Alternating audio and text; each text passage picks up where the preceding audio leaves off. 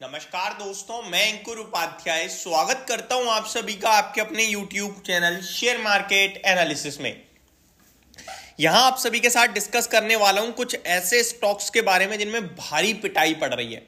Specially एक stock के बारे में बात करूँगा जिसका नाम है जी एंटरटेनमेंट इस स्टॉक में 15 परसेंट का लोअर सर्किट लग गया है। स्टॉक में शुरुआत में 10 परसेंट का सर्किट लगा, जिसके बाद थोड़ी देर बाद पंद्रह मिनट का जो सर्किट फ़िल्टर होता है फिर वो ओपन होता है एफएनओ वाले स्टॉक्स के लिए। मैं आपको बता दूँ आपकी जानकारी के लिए कि जो कैश मार्केट के स्टॉक्स होते हैं जो फ्यूचर्स एंड ऑप्शंस में नहीं होते हैं उनमें तो एक फिक्स सर्किट होता है। लाइक like, हो सकता है वो पाँच परसेंट का हो दस परसेंट का हो या फिर बीस परसेंट का हो इससे ज़्यादा का नहीं होता है। ठीक है? पंद्रह परसेंट का भी नहीं होता है। बीस का होता है या दस का होता है या फिर पाँच का होता है। अगर मान लो किसी कैश वाले स्टॉक का 20 परसेंट का मैक्सिमम सर्किट है। तो वो 20 परसेंट गिरने के बाद और नहीं गिर सकता। ठीक है? सर्किट खुलेगा तो वो 19 परसेंट मतलब कम ही होगा, गिरेगा नहीं एक्स्ट्रा लेकिन जो एफएनओ में स्टॉक्स होते हैं ना, इनमें कोई सर्किट नहीं होता है। इनमें सर्किट होता ज़रूर है, लेकिन वो पंद्रह मिनट बाद ओपन होता है और वो वो एडिशनल पाँच परसेंट में लग जाता है। मैं आपको समझाता हूँ कैसे। इसी का एग्ज़ाम्पल ले लेते हैं। स्टॉक की बात की जाए तो अभी पंद्रह परसेंट नीचे है सर्किट पे है। पंद्रह मिनट बाद ये रिवाइज होकर बीस परसेंट का सर्किट हो जाएगा। मतलब लोअर सर्किट लगेगा, ये नहीं कह रहा हूँ मैं, लेकिन सर्किट फ़िल्टर रिवाइज हो जाएगा। फिर ये चाहे तो पाँच परसेंट और गिर सकता है। इसी तरीके से उसके अगेन पंद्रह मिनट बाद अगर सर्किट लगता है इनकेस तो अगेन पंद्रह मिनट बाद वो पाँच परसेंट के लिए और बढ़ जाएगा। तो फ्यूचर एंड ऑप्शन वाले शेयर्स में कोई सर्किट नहीं होता, ये एक दिन में चाहे तो पचास परसेंट बढ़ सकते हैं, पचास परसेंट गिर सकते हैं, या फिर डबल गिर जाए हो जाए, या पूरा ही खत्म हो जाए, वो कोई नहीं जानता। आपको याद होगा आईआरसीटीसी जब कन्वीनियंट फ़ी शेयर करने की बात हुई थी तो छत्तीस परसेंट टूटा था। सब छोड़ दो जी एंटरटेनमेंट ही याद कर लो। जब मर्जर की खबर आई थी तो एक दिन में पचास परसेंट भागा था, याद है आपको? दो सौ रुपए से ही चार सौ रुपए हो गया था सेम डे डबल हो गया था ऑलमोस्ट ऑलमोस्ट दो दिन के अंदर। तो सर्किट इनमें नहीं होता है, ठीक है? अभी पंद्रह परसेंट नीचे है, पंद्रह मिनट बाद सर्किट ओपन होगा, और मे भी हो जाए बीस परसेंट नीचे हो जाए, फिर भी पंद्रह मिनट बाद ओपन होगा।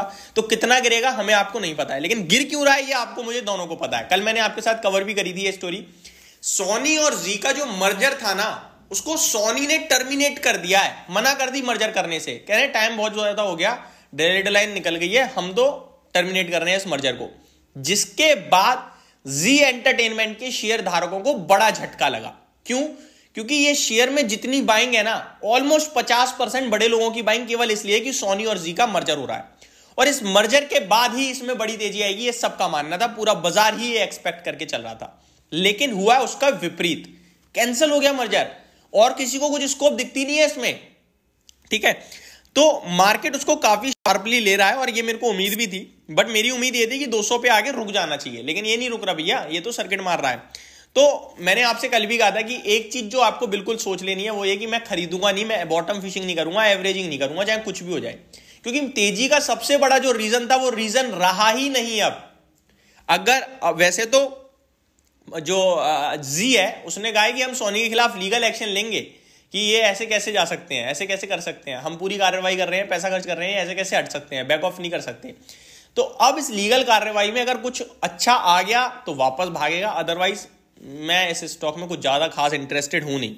इस बीच में एक और इंटरेस्टिंग अपडेट देना चाहता हूँ। मार्केट को लेकर निफ्टी बैंक निफ्टी सेंसेक्स सब लाल निशान में फिसल गया है। तो एकमात्र मैं शायद आपके साथ बंदा था जो कल भी कह रहा था कि मैं मार्केट को लेकर ज़्यादा खास कॉन्फिडेंस नहीं रखता हूँ।